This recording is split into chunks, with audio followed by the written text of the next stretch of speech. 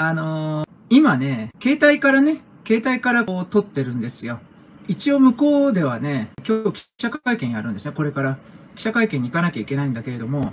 これから撮るんですけどね、そっちの方はパソコンから撮ろうかと思ってるんですよ。ただ、パソコンがあの、使えるかどうかがわからない。まあ、多分 Wi-Fi は通るはずなんですけれども、万が一 Wi-Fi が通ってない場合ね、Wi-Fi が通ってない場合には、えー、こちらの方の、あの、スマホから、えー、お届けするということで、まあ皆さんね、よろしくお願いいたします。あの、パソコンとね、携帯、違うんですね。あの、パソコンの生放送アドレスと携帯のあの、アドレスが違うんですよ。だから一応こっちでもチェックをしなきゃいけないっていうことですね。まあ、ということでね、これからちょっとやってこなきゃいけないんですけれどもね。まあ、ニコニコのライブでもいいけれどもね、桜井先生のこの、この番組の、えー、パソコンの方ね、まあ、あの、今、あの、告知を出してますけれどもね、そちらの方でね、ご覧いただければと思います。まあ、今日は、張り切り本部長もね、来るということでしてね。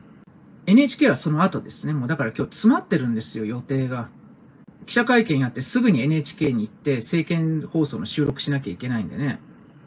淡々淡とやれればいいんですけれどもね。まあできる限りね、爽やかに、爽やかなね、こう放送を心がけたいなと思っております。ごめんなさいね。今ね、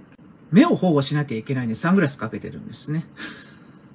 まあ向こうでは外しますけれども、爽やか放送だって言ってるじゃない。もうね、あの、桜井先生怒りませんのでね、まあできる限りね、穏やかに、爽やかさでこうね、今日もやっていこうかなと思っております。で、まあ先ほども言った通りですね。先ほども言った通りですけど、万が一あの向こうで Wi-Fi が使えないとかトラブルがあった場合には、急いでこっちのスマホに切り替えて、で、あの、放送しますので、で、スマホに切り替えると、あの、先ほども言ったけど、URL が変わるんですよ。だから、あの、スマホはスマホで、そちらの方に飛ばないと見れないというですね。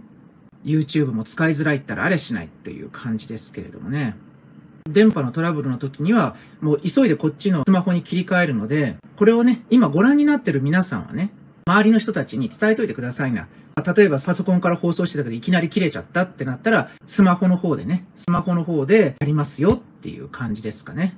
今日のあの記者会見、で、その後の政見放送、もう一回政見放送を収録しなきゃいけないんですよ。